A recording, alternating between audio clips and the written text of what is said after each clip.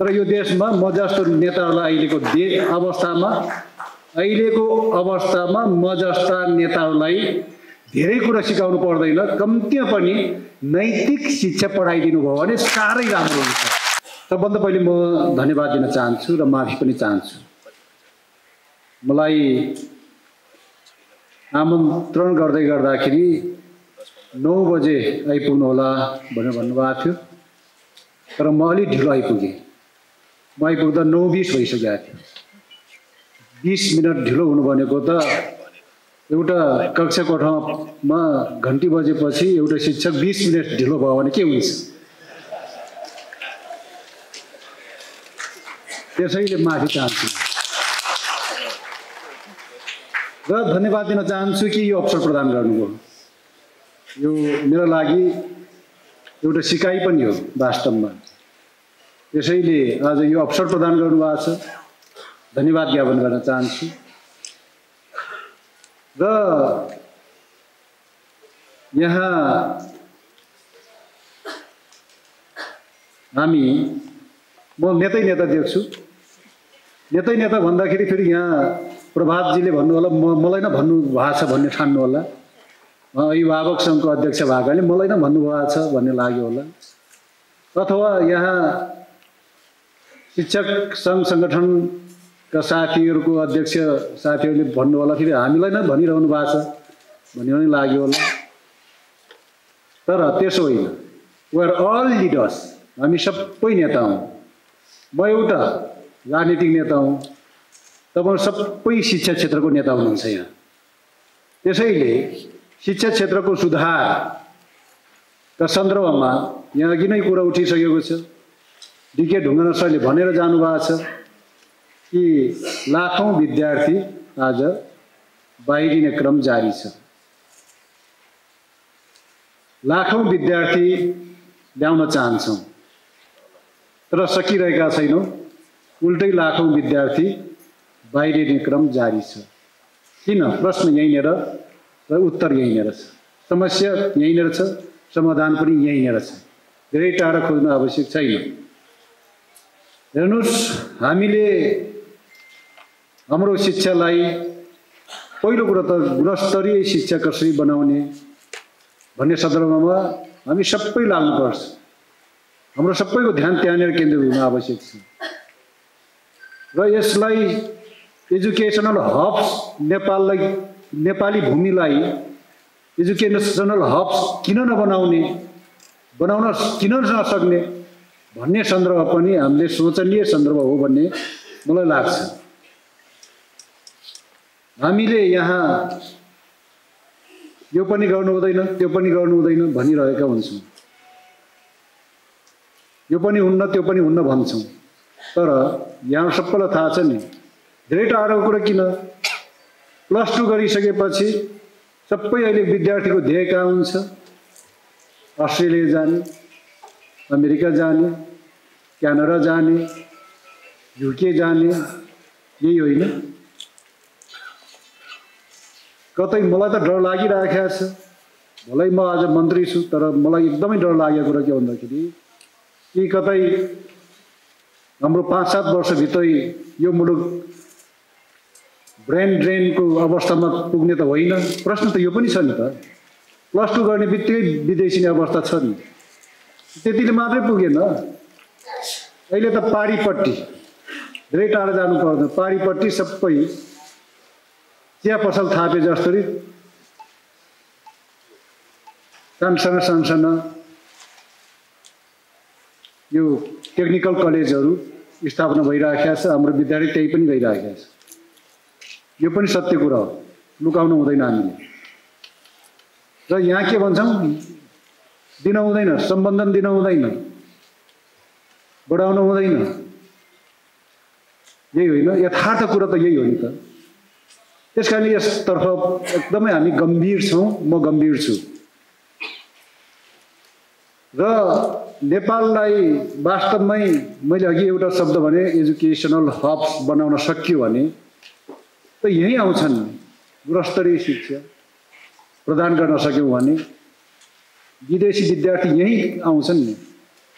विद्यार्थी मात्रै आउँदैनन्।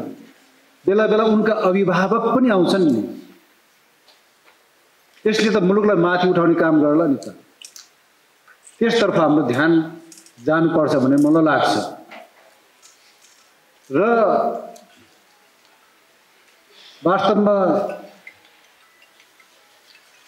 बडो गजब छ। सबैलाई थाहा भएकै कुरो शिक्षा विधेयक ल्याउनलाई बडो प्रसव पीडा यति धेरै लामो प्रसव पीडा कसैले खप्नु नपरोस् भन्छु म त। यति लामो प्रसव पीडामा छ। बडा मुस्किलले बडा मुस्किलले कता न लिएर आउँदै थियौँ त्यो अहिले संसदीय समितिसम्म पुर्याउने काम भएको छ। यहाँ सबैलाई थाहा छ नि। र त्यसमा सबै स्टेक होल्डरसँग संवाद गरेर कुराकानी गरेर अगाडि बढाइरहेको अवस्था रह्यो। अब शिक्षक साथीहरूसँग पनि त्यसमा संवाद भयो अनि त्यसपछि अरू स्टेक होल्डरहरूसँग पनि त्यसमा संवाद भयो। अगाडि बढाउने काम भएको छ। र जुन मुलुकको शिक्षा विधेयकलाई यति धेरै गाह्रो भइराखेको छ हामीले छिटोभन्दा छिटो ल्याउनु पर्ने कुरा थियो त्यो। तर त्यसलाई मैले अघि नै भने सके यति धेरै लामो प्रसव पीडामा रह्यो। र त्यसमा अहिले पनि फेरि बडो गजब हुँदो रहेछ। गजब हुँदो रहेछ यो शिक्षा विधेयक ल्याउने बेलामा पनि। यहाँहरूसँग नि धेरै कुराहरू भएका छन्। अब यो वास्तवमा निजी क्षेत्रको विद्यालयहरू दुई हजार अन्ठाउन्न सालदेखि नै हो भन्ने मलाई लाग्छ कम्पनीमा दर्ता भएर अगाडि बढ्या। कम्पनी ल बमोजिम। तर अहिले शिक्षा विधेयक बनाउने क्रममा फेरि यहाँ कहाँ कहाँबाट अर्कै कुरा पनि घुस्या रहेछ।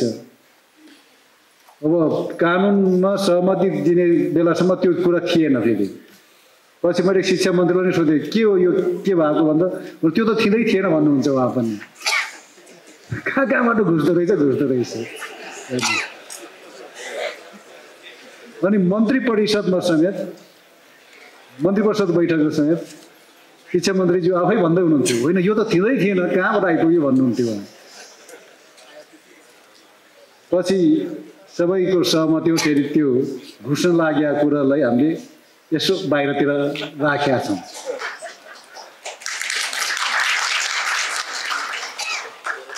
अर्को कुरा पनि मलाई लागेको कुरा मलाई लागेको कुरा मैले भन्ने बानी छ मेरो।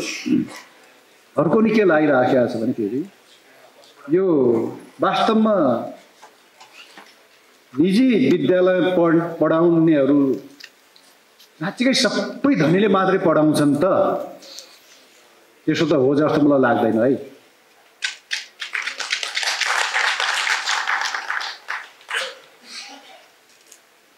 माध्यम मध्यम खालका। हुँदा हुँदा अहिले त के आइसक्यो भने बरु दुःखै गर्ने बेसरी दुःख गर्ने बिहानदेखि बेलुकासम्म बेसरी घोटिने तर आफ्नो बालबच्चालाई राम्रै विद्यालय पढाम। यसो भन्दै गर्दाखेरि फेरि सामुदायिक विद्यालयहरू सबै नराम्रो हुन् भन्न खोज्या पनि होइन फेरि यो। अर्थ नै नलगाइयोस्। तर हाम्रो ट्रेन्ड नै के भइसक्यो भने कि दुःखै गर्ने तर राम्रै पढाउने बालबच्चालाई राम्रै शिक्षा दिउँ भन्ने लाग्छ नि त। गिटी कुटेर पनि बोर्डिङ स्कुल पढ पढाएको पनि म देख्छु। सत्य त यहाँनिर पनि छ फेरि। दुःखै गरेर पनि निजी विद्यालय पठाएका पनि छन्। त्यस कारणले गर्दाखेरि यो चाहिँ नि फेरि यहाँ यो सुधार गर्नुपर्ने कुरा हो जस्तो मलाई लाग्छ कि निजी विद्यालयमा पढाउनेले निजी विद्यालयमा पढेका विद्यार्थीले स्कलरसिप जुन छ त्यहाँनिर अलिकता ढोका अलिकता बन्द भए जस्तो देख्छु फेरि म त्यहाँ। यो पनि अलिक गाह्रो कुरा भयो नि त। त्यसैले यो छलफलको क्रममा अगाडि छलफल गरेर अगाडि बढ्नुपर्ने म देख्छु। किनभने यहाँ मैले यो कुराहरू किन भनिराखेको छु भने म त कानुन मन्त्रालयको मन्त्री हुँ। तर शिक्षा मन्त्रालयको पुरै मन्त्री बाहेक पुरै अङ्ग यहीँ हुनुहुन्छ क्या? सचिवदेखि लिएर सहसचिवदेखि लिएर सारा यहीँ हुनुहुन्छ त। त्यस कारणले उहाँहरूप्रतिको ध्यान आकर्षण मेरो त्यसमा हामीले सुधार गर्दै लैजाने। यस्तै सम्मेलनहरूमा डिस्कसन हुने छलफल गर्ने अनि एउटा निर्कलमा पुर्याउने हो। त्यसो भएपछि हामीले ठिक ट्र्याकमा पुग्छौँ भन्ने मलाई लाग्छ। त्यसैले यो चाहिने सम्मेलनले वास्तवमै मैले एउटा शब्द अघि भनेको थिएँ ब्रेन ड्रेनको अवस्था कतै आउँछ कि भन्ने मलाई डर लागिराखेको छ।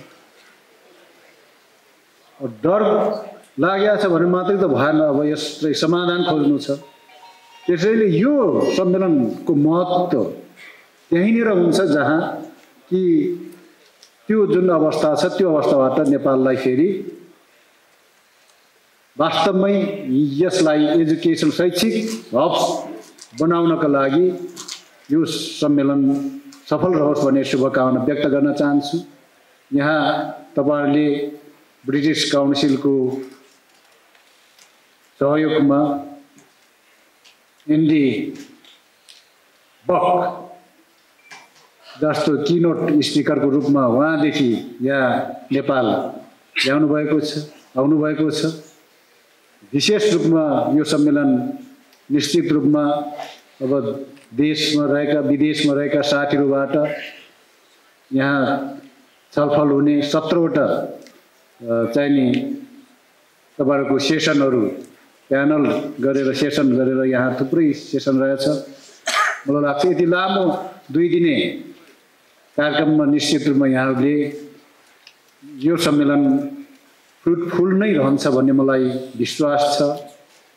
यति कुरा गरिसकेपछि धेरै कुरा न नगरिकन यहाँहरूको महत्त्वपूर्ण समय छ। त्यो महत्त्वपूर्ण समयलाई मैले मलाई थाहा छ नि। अब तपाईँहरूको हाम तपाईँ हामीले अब मैले अघि बिस मिनट लेट भयो भने के हुन्छ भनेर सुरुमा भनेको थिएँ।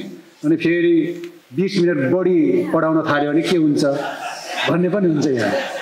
त्यस कारणले गर्दाखेरि धेरै समय त लिनै भएको छैन। यो पनि छ अर्को कुरो। त्यसो भएको कारणले गर्दाखेरि यत्रो सत्र सत्रवटा तपाईँहरूको सेसन छ भनेपछि मैले बुझ्नु पर्दैन। सत्र सेसनमा कतिजना साथीहरूले प्रेजेन्ट गर्नु होला कतिजना साथीले त्यसमा फेरि इन्टरभेन गर्नु होला भनेपछि त मलाई त बिस मिनट पनि वास्तवमा मलाई त त्यो भाग लगाउँदै जाँदाखेरि त मलाई बिस मिनट पनि धेरै हुन्छ। बिस मिनट पनि मेरो लागि समय छुटिएको हुन्न भन्ने मलाई लाग्छ। त्यसो भएपछि अब तपाईँ हामी सबैलाई थाहा भएको कुरै हो। यति कुरा वास्तवमा आज यो अवसर प्रदान गर्नुभयो। यसको लागि धेरै धेरै धन्यवाद दिन चाहन्छु। यो हामी एउटै परिवार हौँ। शैक्षिक क्षेत्रमा खराबी आयो भने पुरै सिङ्गै देशमा खराबी आयो भन्ने बुझ्नुपर्छ। राम्रोसँग हामीले शिक्षा प्राप्त गऱ्यौँ भने अनि त्यसपछि चाहे जुनसुकै क्षेत्रमा लागोस् म जस्तो राजनीतिमा लागेका मान्छेलाई पनि राम्रोसँग पढाइदिनु भयो भने बल्ल देश चलाउनु राम्रोसँग चलाउन जान्ने हुन्छु। तर यो देशमा म जस्तो नेताहरूलाई अहिलेको दे अवस्थामा अहिलेको अवस्थामा म जस्ता नेताहरूलाई धेरै कुरा सिकाउनु पर्दैन। कम्तीमा पनि नैतिक शिक्षा पढाइदिनु भयो भने साह्रै राम्रो हुन्छ। जुन देशमा नेताहरूमा नैतिकता हुँदैन त्यो देशको सम्पूर्ण चिज तपाईँले एउटा पाटो मात्र सुधार्छु भने हुँदैन सम्पूर्ण चिज डामाडोल हुन्छ फेरि। त्यस कारणले गर्दाखेरि मैले यति अनुरोध गरेँ आउने बेला मागिहालौँ भने मागिहाल्ने त्यसैले यति कुरा मागेँ नैतिक शिक्षाको कुरा मागेको छु मैले।